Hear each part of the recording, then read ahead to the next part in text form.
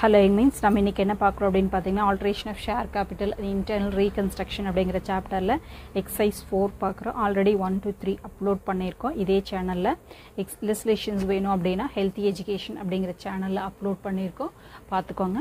நம்ம ரெஃபர் பண்ணிட்டு இருக்கிற புக் வந்து கார்ப்பரேட் அக்கௌண்டிங் ஆத்தர் வந்து radian Murthy. Paradise Limited has 50,000 equity shares of rupees 100 each. So பேரடைஸில் எவ்வளோ ஈக்விட்டி ஷேர்ஸ் இருக்குங்க fifty thousand shares equity shares இருக்குது per ஷேரோட price hundred each eighty per share called up இது வரைக்கும் எவ்வளோ call பண்ணியிருக்கேன் eighty rupees call பண்ணியிருக்காங்க the company decide to pay off thirty per share of the paid up capital so eighty rupees call பண்ணியிருக்காங்க இல்லைங்களா அதில் thirty ருபீஸை திருப்பி கொடுக்குறேன்னு சொல்லியிருக்காங்க ஆல்ட்ரு பண்ணுறாங்க to the reducing the hundred rupees share to 50 shares fully paid by cancelling the unpaid amount. Show the journal entries.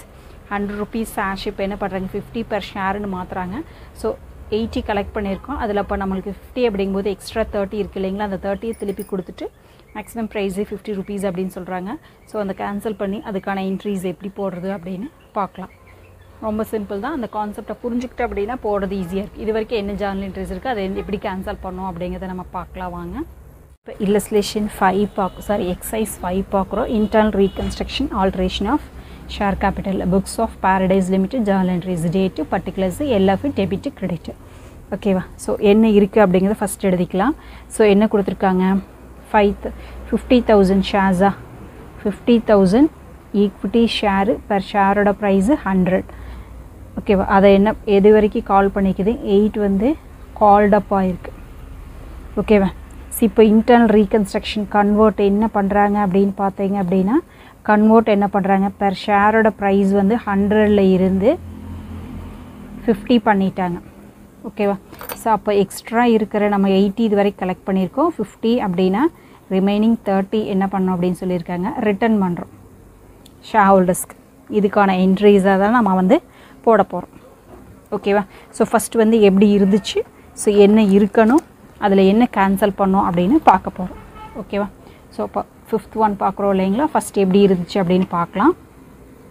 So bank account டெட்டா எவ்வளோ collect பண்ணியிருக்கோம்? எயிட்டி ருபீஸ் கலெக்ட் பண்ணியிருக்கோம் இது வரைக்கும். So eighty to equity share capital account எவ்வளோ ஷேர்ஸுங்க fifty thousand ஷேர்ஸா அப்போது fifty thousand into eighty forty lakh வருதா?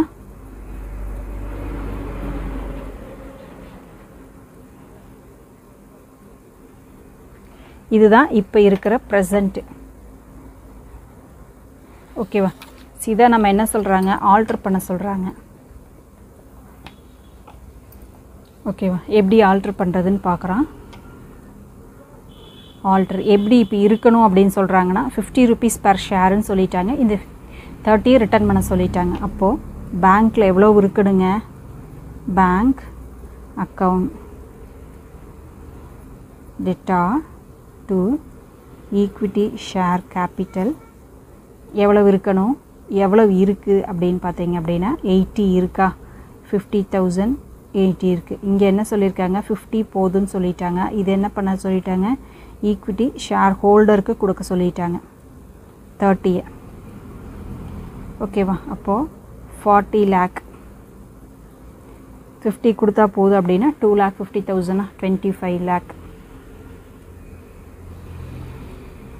அதாவது fifty thousand into twenty five sorry fifty இங்கே ரிட்டர்ன் பண்ணுறது ஃபிஃப்டி தௌசண்ட் இன்ட்டு தேர்ட்டி அது என்ன வருது? தேர்ட்டி வந்து பார்த்தீங்க அப்படின்னா ஃபிஃப்டீன் லேக் இப்போ பார்த்தீங்க அப்படின்னா இதுதான் நம்மளுக்கு இருக்க வேண்டியது. இல்லையா?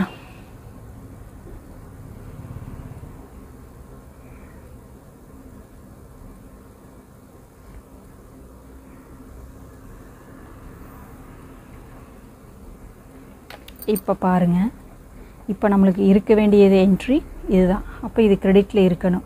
எது இருக்கக்கூடாது இது இருக்கக்கூடாது. அப்போது இங்கே கிரெடிட்டில் இருக்கக்கூடாதுன்னா இது என்ன பண்ணுங்கள் டெபிட் பண்ணால் இது கேன்சல் ஆயிருமா?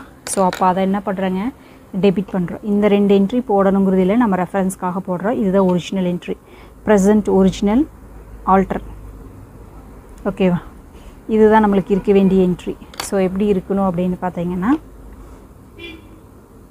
equity share capital account rupees எவ்வளோங்க இந்த எயிட்டி தான் நம்ம கேன்சல் பண்ணுமா? இந்த எயிட்டி ருபீஸ் தான் நம்ம கேன்சல் பண்ண போகிறோம் அக்கௌண்ட் எட்டார் டூ என்ட்ரி வர வேண்டிய என்ட்ரி இது ரெண்டு. இப்போ பார்த்தீங்கன்னா பேங்க் அக்கௌண்ட் எட்டார் டூ இந்த ரெண்டு என்ட்ரியும் வந்துடும் ஓகேவா ஈக்விட்டி ஷேர் கேபிட்டல் எவ்வளோ இருக்குங்க? ருபீஸ் ஃபிஃப்டி இருக்கணும். அதுக்கப்புறம் ஈக்விட்டி ஷேர் ஹோல்டர்ஸ்க்கு எவ்வளோ ட்ரான்ஸ்ஃபர் பண்ணுறோம் அப்படின்னு பார்த்தீங்கன்னா ருபீஸ் தேர்ட்டி இப்போ பாருங்கள் ஃபார்ட்டி லேக் இருக்கா? அதில் ஷேர் கேபிட்டலுக்கு டுவெண்ட்டி ஃபைவ் லேக் போயிடும் ஃபிஃப்டீன் லேக் யாருக்கு போடுங்க? ஷேர் ஹோல்டர்ஸ்க்கு போகணும் ஓகேவா இந்த என்ட்ரி போட்டாச்சு. இனி என்ன பண்ணுங்கள் ஷேர் ஹோல்டர்ஸ்க்கு அந்த பேமெண்ட்டை பண்ணணும். ஈக்விட்டி ஷேர் ஹோல்டர் அக்கௌண்ட் டேட்டா டு பேங்க் அக்கௌண்ட் இப்போ பாருங்கள் ஃபிஃப்டீன் லேக் பே பண்ணி முடிச்சிடும் முடிஞ்சு. ஓகேவா அவ்வளோதான் இப்போ இந்த இதில் பார்த்தீங்கன்னா ஃபார்ட்டி லேக்கில் ஃபிஃப்டீன் போயிருச்சு. இப்போ பேலன்ஸ் எவ்வளவு இருக்குது அப்படின்னு பார்த்தீங்கன்னா டுவெண்ட்டி ஃபைவ் தான் இருக்கும். ஓகேவா ஸோ ஃபார்ட்டி இருக்குது இல்லையா? இந்த ஃபார்ட்டியில் நீங்கள் எவ்வளோ ரிட்டர்ன் பண்ணிட்டீங்க? ஃபிஃப்டீன் ரிட்டர்ன் பண்ணிட்டீங்க. அப்போ பேலன்ஸ் வந்து பேங்க்கில் எவ்வளோ இருக்குங்க? டுவெண்ட்டி ஃபைவ் லேக் தான் இருக்கும். அதுக்கான இன்ட்ரீஸ் தான் அது.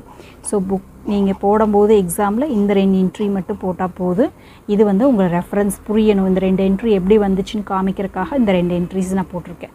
ஸோ இது ரெண்டு மட்டும் போட்டால் போதும் உங்களுக்கு இந்த வீடியோ பிடிச்சதுன்னா லைக் பண்ணுங்கள் உங்களோட ஃப்ரெண்ட்ஸ்க்கு யூஸ்ஃபுல்லாக இருக்குது அப்படின்னா ஷேர் பண்ணுங்கள் சப்ஸ்கிரைப் பண்ணலாம் அப்படின்னா சப்ஸ்கிரைப் பண்ணி நோட்டிஃபிகேஷன் பெல் பட்டனை ப்ரெஸ் பண்ணி வச்சுக்கோங்க. அப்போ தான் வீடியோ போடுறப்ப பார்த்து லேர்ன் பண்ணுறதுக்கு ஈஸியாக இருக்கும். அதே மாதிரி ஹெல்த்தி எஜுகேஷன் சேனலில் கார்ப்பரேட் அக்கௌண்டிங் எல்லா சாப்டர்ஸுமே வந்து ஆல்ரெடி அப்லோட் பண்ணியிருக்கோம். அதில் அப்லோட் பண்ணாத எக்ஸசைஸும் இல்லஸ்ட்ரேஷன்ஸ் தான் நம்ம இங்கே அப்லோட் பண்ணிகிட்ருக்கோம் பார்த்துக்கோங்க. அதையும் சப்ஸ்கிரைப் பண்ணி வச்சுக்கோங்க. தேங்க்யூ ஃபார் வாட்சிங்